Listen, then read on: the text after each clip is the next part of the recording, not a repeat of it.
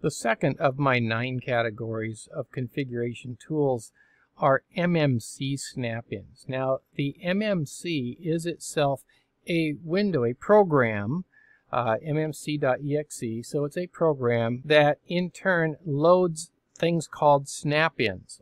Uh, MS, this says MM, MMS, and that is incorrect. Should be MSC. So MSC files are Microsoft Snap-in something or the other, I don't know exactly. MSC files open up in the MMC.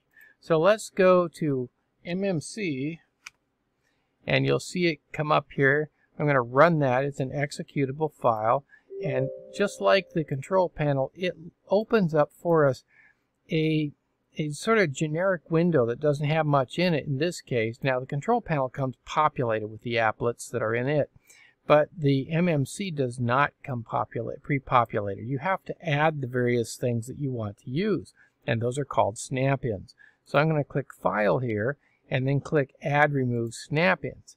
And now you can see I can put in things like the Device Manager, or the Disk Manager, or the um, or the event viewer. Right? We'll put those three in for now.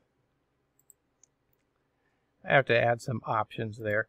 And you'll see now I have all three of these things. There's the device manager, the way that you're used to seeing it, and the disk manager, the way you're used to seeing it as soon as it comes up, and the event viewer, the way you're used to seeing it.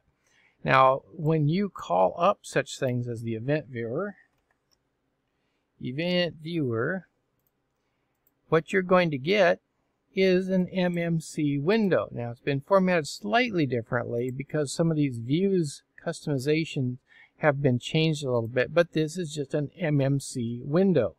And it comes up as one of the snap-ins in the MMC window. They have taken out this option of adding other snap-ins, but uh, this is a single snap-in in an MMC host window. So the MMC is this sort of standalone window that hosts other snap-ins that you can use. And by the way, you can save, let's say that I use these three all the time.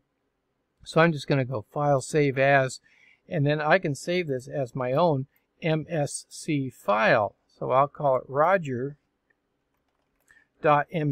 and I'll put that on my desktop. And now when I close that and I go back to my desktop, you can see I can double click that I have a lot of files there uh, right now. I can double click that and I can open the MSC right there.